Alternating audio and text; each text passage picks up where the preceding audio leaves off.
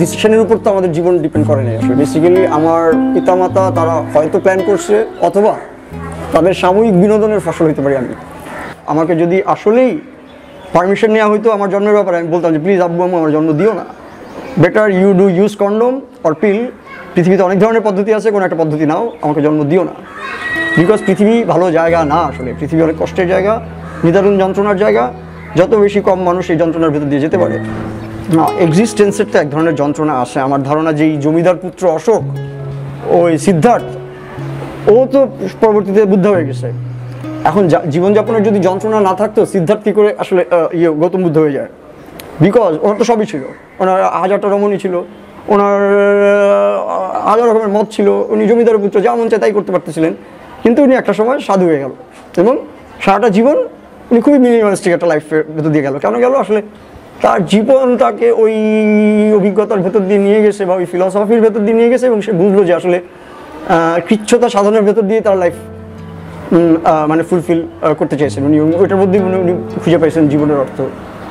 তো আমার কাছে এরকম লাগে যে আসলে যাপনের তো এক ধরনের যন্ত্রণা আছে। আমরা যারা আর্টিস্ট তাদের তো এইটা আরও বেশি থাকে কারণ আমরা তো আসলে আমাদের জীবন নিয়ে বা মানুষের বোধ নিয়ে বা মানুষের ইমোশন নিয়ে কাজ করি।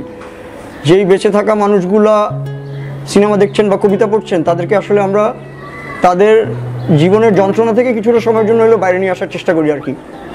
সো এই কারণে আসলে জন্মাইতে চাই না, কারণ বেঁচে থাকা খুব কষ্টের আর কি।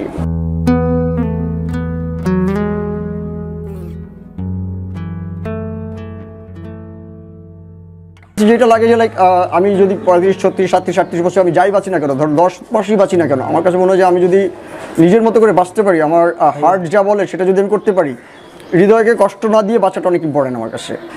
একশো বছর বাঁচলাম, কিন্তু যা যা স্বাদ আছে অপূর্ণ রেখে বাঁচলাম বা যা যা করতে চাই তা করতে পারলাম না, ওই ধরনের জীবন আমার ছয় মাস দিলেও আমি চাই না, আমার ধারণা আমি সুইসাইড করতাম।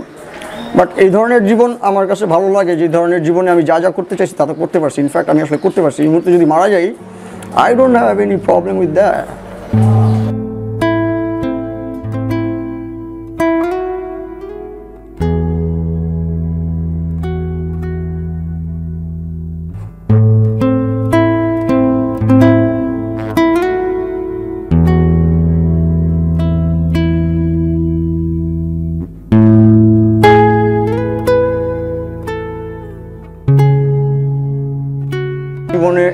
Second নিয়েও আমার কোনো রিগ্রেট নাই, অনুশোচনা নাই, দুঃখবোধ নাই গিলটি নাই বিকজ আমি এক ধরনের চেষ্টা করছি অসৎ না হয়ে যতটা সততার ভেতর দিয়ে সো কল সততার ভেতর দিয়ে জীবনযাপন করা যায়, কাউকে দুঃখ কষ্ট না দিয়ে অন্যের অধিকার খর্ব না করে, অন্যের সম্পদ কুক্ষিগত না করে প্রয়োজনে হয়তো আমি অনেক মিনিমালিস্টিক লাইফস্টাইলের মধ্যে ছিলাম, আমার হয়তো ওইভাবে গাড়ি বাড়ির লোক কখনোই ছিল না, কিন্তু আমার রিগ্রেট নাই এই কারণে যে আসলে আমি যখন যেটা করতে চাইছি, আমি সেটা করতে পারছি। এবং আমার হৃদয়কে পঁয়ত্রিশ বছর আমার তো বয়স, আমি আসলে পঁয়ত্রিশ মিনিটের জন্য কখনো দুঃখ, পঁয়ত্রিশ সেকেন্ডের জন্য আমি দুঃখ দিই নাই। আমার যখন যেটা করতে মন চাইছে, আমি করতে পারছি এবং আগামী যদি আমি বেঁচে থাকি, আমি ওটা সেটা করেই যাব।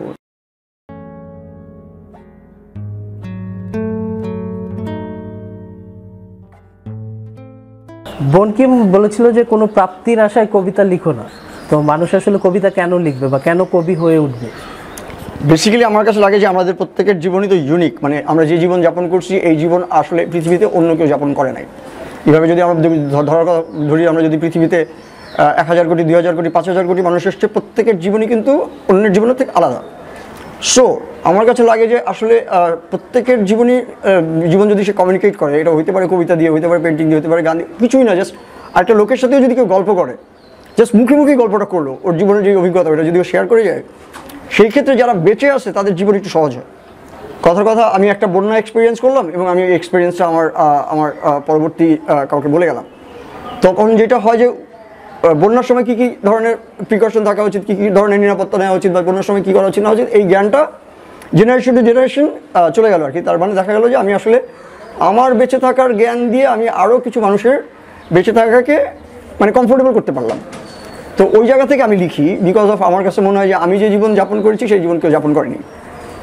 এনিওয়ে আর কেন আর্টের কাছ থেকে কিছু চাওয়া উচিত না বা কোনো প্রকার উদ্দেশ্য প্রণোদিতভাবে আর্ট করলে আর্টটা স্পন্টিনিয়াস মানে ওটা স্পন্টিনিটি মিস করে আর কি। আমার কাছে মনে হয় যে এটা একটা সহজাত প্রবৃত্তির ভেতর দিয়ে যদি হয়, এটা যদি খুবই স্পন্টিনিয়াস একটা এক্সপ্রেশন হয়, এটা যদি খুবই অনেস্ট একটা এক্সপ্রেশন হয়, তাহলে আর্ট সুন্দর হয়ে ওঠে আসলে। আর অনেক কিছু ভেবে যদি আমরা আর্ট করি লাইক আমাকে পুরস্কার পেতে হবে, আমাকে পদক পেতে হবে, আমাকে পয়সা বানাইতে হবে, তখন না আসলে আমার আর্টের প্রতি আমি অনেস্ট থাকতে পারি না। মানে এগুলো খুবই বহুল চর্চিত কথা আমি প্রথম না, এর আগে অনেকেই বলছেন। তো আমার মনে হয় যে অনেকে তো ভেবে শুনে বুঝেই বলছেন আর কি। আর খুব ভালো যদি আপনি যেই আর্টটাকে আর্ট হিসেবে প্র্যাকটিস করছেন, ওইটা দিয়ে যদি আপনি জীবিকা নির্বাহ না করেন, তাহলে যেটা হয় যে আমরা আমাদের আর্টের প্রতি যেই সততাটা রাখতে পারি। সেইটা আসলে যখন আমি আর্ট দিয়ে জীবিকা নির্বাহ করি, তখন অতটা না সৎ থাকা যায় না বিকজ অফ এটার সাথে বেতন জড়িত, এটার সাথে প্রমোশন জড়িত, এটার সাথে ক্লায়েন্টকে হ্যাপি রাখা জড়িত, এটার সাথে, এটার যেহেতু একটা ভোক্তা শ্রেণি তৈরি হয়ে যায়, আমার, আমি যে সেবাটা দেই বা যে শ্রমটা দিই, সে ভোক্তাকে খুশি করা, নানাবিধ ব্যাপার স্যাপার মিলিয়ে আর্টটা আসলে আর্ট না থাকে আর্টটা আসলে অনেক যন্ত্রণাগত একটা ব্যাপার হয়ে ওঠে। সেই জন্য আমার কাছে লাগে যে আর্টের কাছ থেকে কিছু এক্সপেক্ট না করে আমি যদি একদমই নির্বিকারভাবে আর্ট করা যাই, তাইলেই হইল আর কি।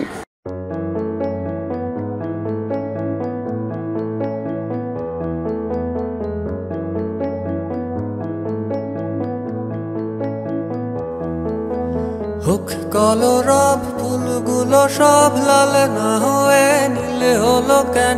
অসম্ভবে কখন কবে মেঘের সাথে মিলে হলো কেন?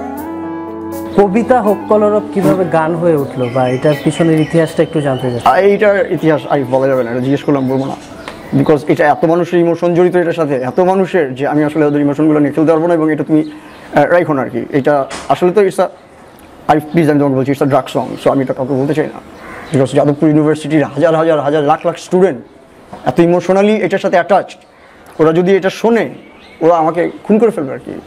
হুমায়ুন আহমেদকে জিজ্ঞেস করা হয়েছিল যে আপনি এই কোথাও কেউ নেই নাটক কেন লিখেছেন?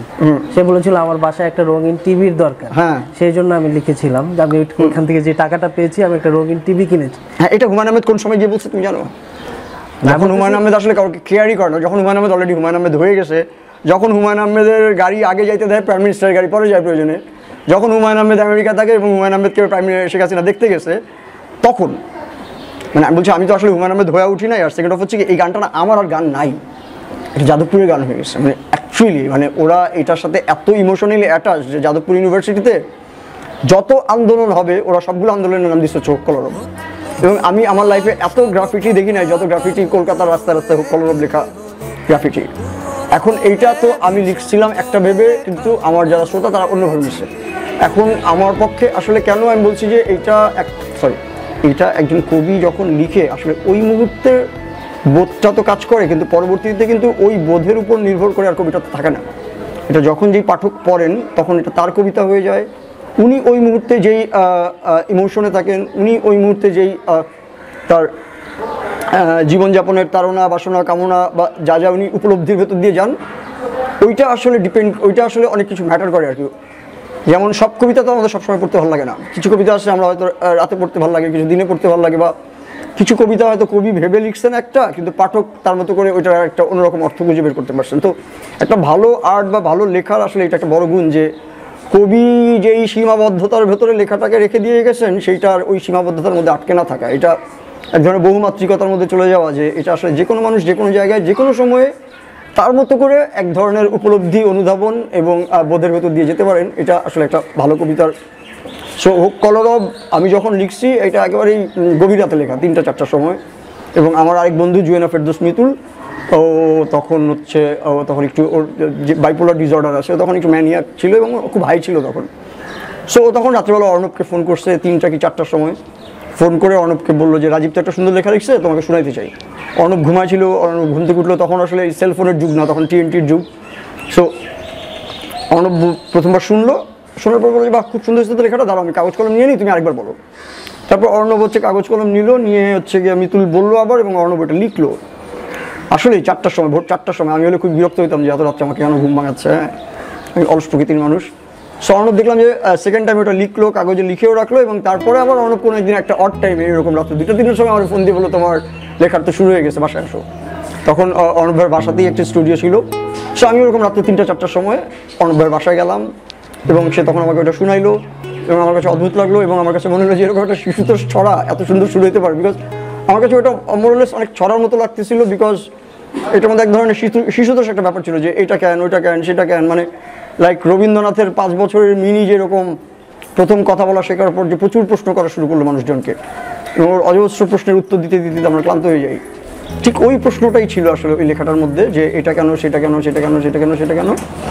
তো এইটা যখন একটা আন্দোলনের গান হয়ে গেল তখন আমার কাছে ইম্পর্টেন্ট লাগছে ওই যে ওই জায়গাটাই বলছিলাম যে আমি যা ভেবে লিখছি সেই জায়গায় এটা আর সীমাবদ্ধ থাকে না এখন এখান থেকে দুইটা শব্দ ওরা নিচ্ছে হোক কলরব।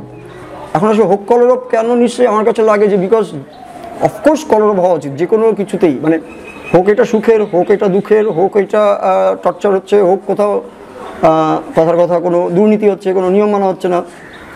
যত বেশি কলরব হবে, তত বেশি তো আসলে এটা মানে ওইটা যেই দুর্নীতির বিরুদ্ধে বলি বা যেটা বিরুদ্ধে বলি, ওইটার সমাধানের ক্ষেত্রে আমরা আগাবো। আর কলরব হওয়া অনেক ইম্পর্টেন্ট এই কারণে, যেহেতু আমরা সমাজবদ্ধ জীব, আমরা সামাজিকভাবে থাকি, আমরা অনেকগুলো মানুষ মিলে একসাথে থাকি। সো কোনো একটা মানুষের জন্য, বাকি নিরানব্বইটা মানুষ যেন এগিয়ে যেতে পারে, সেটার জন্য কলরব হওয়া খুব ইম্পর্টেন্ট তো ওইখান থেকে যখন এটা যাদবপুরের গান হয়ে গেল, এটা অফকোর্স আমার কাছে তো অ্যাজ আ রাইটার আমার অনেক ভালো লাগছে। সো ওইটাই আমার কাছে বিচিত্র লাগছে যে আমি যেটা ভেবে লিখছি ওইটার ওই ওই ভাবনাটার মধ্যে সীমাবদ্ধ থাকে নাই।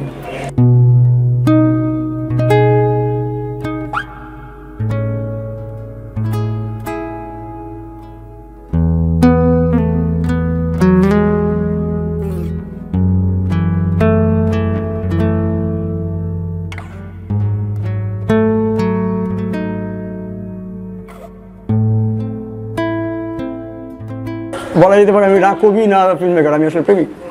আমি একাধিক, না মানে একদমই ডিউ টু রেসপেক্ট আমি মনে হয় একসময় লিখছিলাম যে আমার প্রেমিকারা আমার শিরদারা বিকজ আমি আমার প্রত্যেকটা প্রেমিকাকেই আসলে ওই রেসপেক্টটা দিতে চাই বিকজ আমার জীবন যদি অর্থবহ হয়ে থাকে কোনো কারণে, সেটা আমার প্রেমিকারা করছে। আমার প্রেমিকারা নির্লোভভাবে কোনো প্রকার কোনো এক্সপেকটেশনস না রেখে, কোনো প্রকার ডিমান্ড না রেখে আমাকে অদ্ভুত রকম, গোয়ারের মতো ভালোবাসতে পারছে।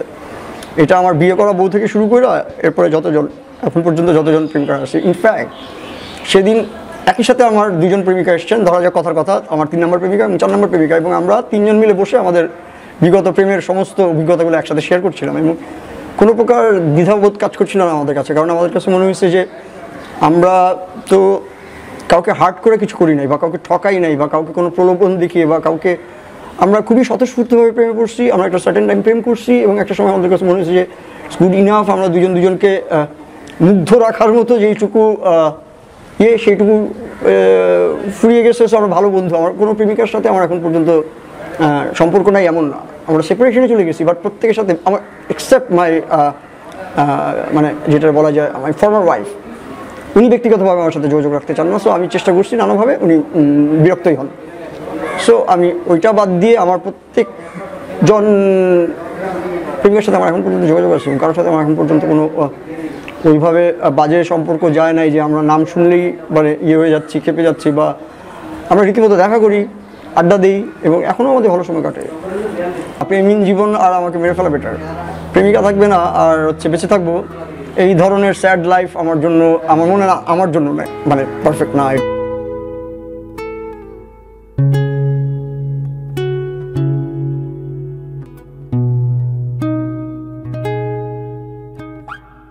অ্যাথিয়েস্ট আমি কোনো প্রকার ধর্মে বিশ্বাস করি না।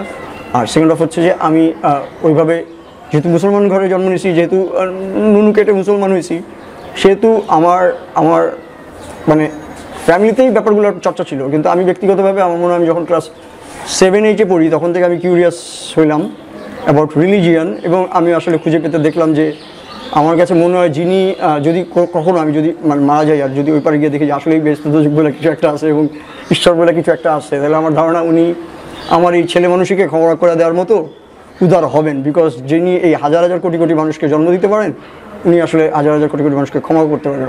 জন্ম থেকে এই যে এতটা বছর আমাকে শুধু কাঁদিয়েছে ঈশ্বর, আমাকে শুধু জ্বালিয়ে পুড়িয়ে ছাই, শত্রু যা করে ঈশ্বরও করে গেল তাই। হাই ঈশ্বর, তোমার কাঁধেও শয়তান করে ভর।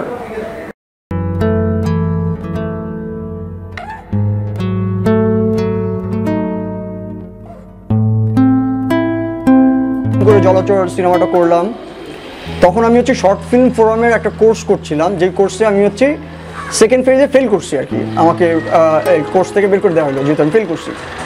তারপর যখন আমি শর্ট ফিল্মটা বানায় ফেললাম এবং আমি শর্ট ফিল্ম ফোরামে গিয়ে আবার আমার ছবিটা দেখাইলাম, তখন যারা পাশ করছিল, তাদের ক্লাসে আবার আমার ছবিটাই দেখানো হইতেছিল এবং ওইটা আমার কাছে অনেক ইন্টারেস্টিং লাগতেছিল যে একটা ফেল করা স্টুডেন্ট তার সিনেমা হচ্ছে পাশ করা স্টুডেন্টকে দেখাচ্ছে এবং তা মানে অ্যাজ এ সাকসেস ফিল্মের এক্সাম্পল হিসেবে এবং সবাইকে, সবার সাথে আমার সম্ভবত আমি আমার ফিল্ম বানানোর এক্সপিরিয়েন্সটা শেয়ার করছিলাম। তখন আমার কাছে মজা লাগতেছিল যে লাইক লাস্ট বেঞ্চ ফেল করা আমি। কিন্তু আমি তো আসলে প্র্যাকটিক্যালি কাজটা করে ফেলতে পারছি, এটা অনেক ইম্পর্টেন্ট মানে পুঁথিগত বিদ্যা তো অফকোর্স ইম্পর্টেন্ট কিন্তু ওইটা যখন আমাদের অ্যাপ্লি কেবল একটা ইয়েতে যাইতে হয় যেটা যখন ওটা অ্যাপ্লাই করতে হয়, তখন আসলে বোঝা যায় যে কার যোগ্যতা কত কার মানে কে কত জ্ঞানী, কে কত পারফেক্ট কে কত দক্ষ, কে কত সো তখন আমরা একটা টিম বানালাম, যেই টিমটা থেকে গাও প্রোডাকশন নামে একটা পরবর্তীতে একটা ফিল্ম কোম্পানি হয়ে গেল এবং আমরা মোটামুটি শখানেকের উপরে অ্যাড ফিল্ম বানাইলাম। আমরা ডকুমেন্টারি বানাইলাম, নাটক বানাইলাম, অনেক মানে আমরা মোটামুটি দশ বারো বছরে আমরা এত এত এত কাজ করে ফেললাম যে লাইক বলা যেতে পারে যে, ওইটাই আমার জীবিকা হয়ে গেছিল ওই মুহূর্তে এবং মানে বেরোতাম পকেট ভর্তি টাকা নিয়ে বাসায় যেতাম এবং ওই টাকা হচ্ছে যথেচ্ছাচার ব্যবহার। হ্যাঁ ওইটাই সবচেয়ে ইম্পর্টেন্ট ঘটনা যে আমরা একটা ফিল্ম প্রোডাকশন কোম্পানি বানাতে পারছিলাম।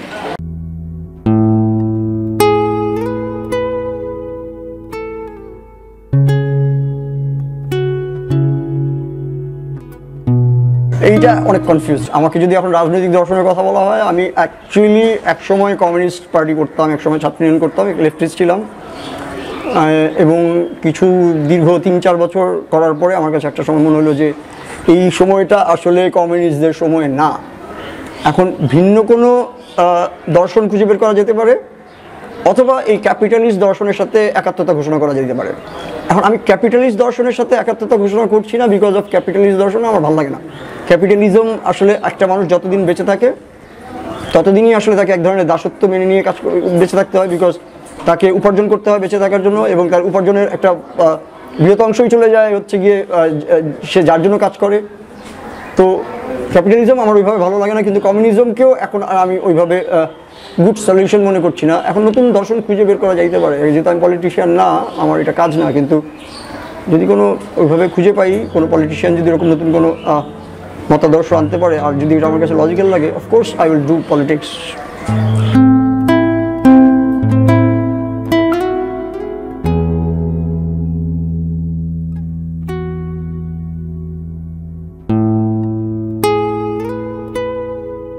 যেটা লাগে আমি তো একটা ফিজিক্যাল অসুস্থতা নিয়ে হাসপাতালে আসছি। এর চেয়েও ইম্পর্টেন্ট আমরা যারা হাসপাতাল থেকে হাসপাতালে নাই, যে যার বাসা বাড়িতে থেকে, যে যার কর্মস্থলে থেকেই এক ধরনের অসুস্থ জীবনযাপন করছি। লাইক এক ধরনের কম্পিটিটিভ লাইফে এক ধরনের হটকারিতা, এক ধরনের দুর্নীতি বা এক ধরনের লোভ বা এক ধরনের প্রতিযোগিতা। মানে যেটা আমাদেরকে একটা অ্যাজ এ হিউম্যান বিং যা যা করার কথা বা যতটা পরোপকারী হওয়ার কথা বা যতটা সোশ্যাল হওয়ার কথা বা যতটা বন্ধুভাবাপন্ন হওয়ার কথা, তার উল্টাটা হচ্ছে। আমার কাছে লাগে যে ওই অসুস্থতাটা সুস্থ করাটা খুবই জরুরি। কারণ শারীরিক অসুস্থতা থাকবেই। মানুষ একটা সময় মারা যাবে হয়তো দেড়শো বছরে মারা যাবে, দুশো বছরে মারা যাবে, কেউ পঞ্চাশে মারা যাবে, কেউ বিশ বছর মারা যাবে।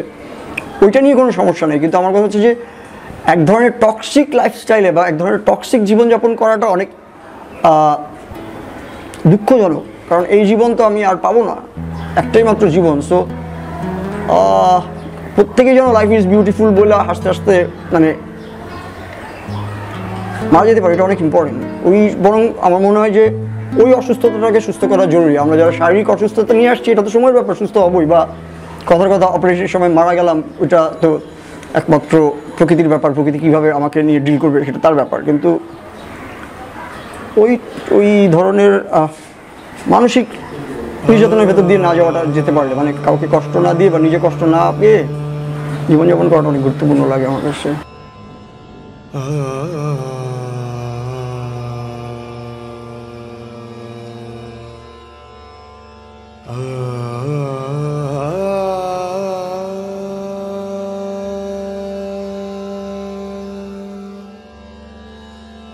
আনন্দ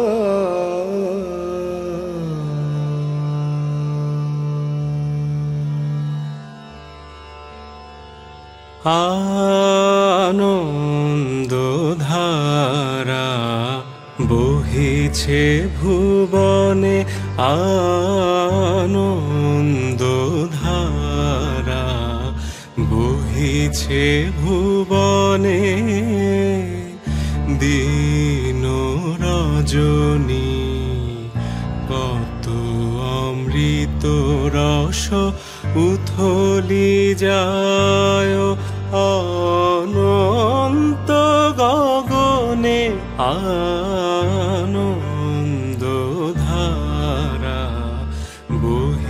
বহিছে ভুবনে আনন্দ ধারা বহিছে ভুবনে